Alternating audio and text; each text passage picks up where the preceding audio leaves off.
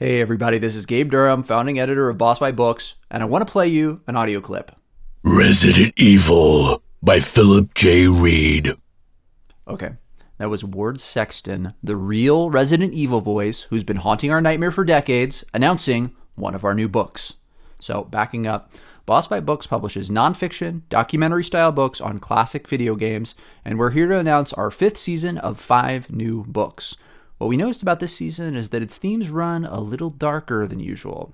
There's a book on Red Dead Redemption by essayist and scholar Matt Margini.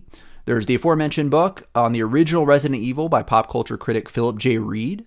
Returning to the series is me, Gabe Durham, with a book on The Legend of Zelda Majora's Mask. There's a deep dive into Silent Hill 2 by Mike Drucker, a comedy writer who's currently co head writer of Full Frontal with Samantha Bee. And there's a book about Final Fantasy VI. It's our first music book focusing on examining Uematsu's fantastic score by musician and writer Sebastian Deken. As usual, these books are going to be available all over the world in both paperback and ebook formats.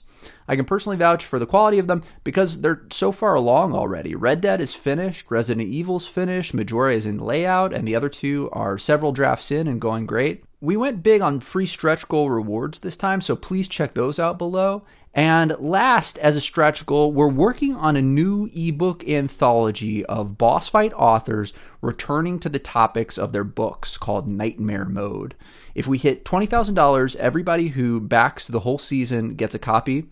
And as always, there's also a chance to nominate the game that you want to read a book about. Uh, and at the end, there's going to be a vote, and uh, the winner will become the next fan selected Boss Fight Books title. This is a pretty weird time to be doing a Kickstarter campaign from quarantine in my apartment.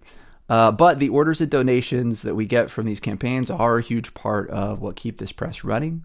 Uh, we need your help to pay for printing, for royalties for our authors. I'll say for myself that having good stuff to read and watch and play has been a big part of getting through this kind of scary and weird time. And I hope that that's what these new books can be for you too. Thank you so much for your ongoing support of Boss Fight Books.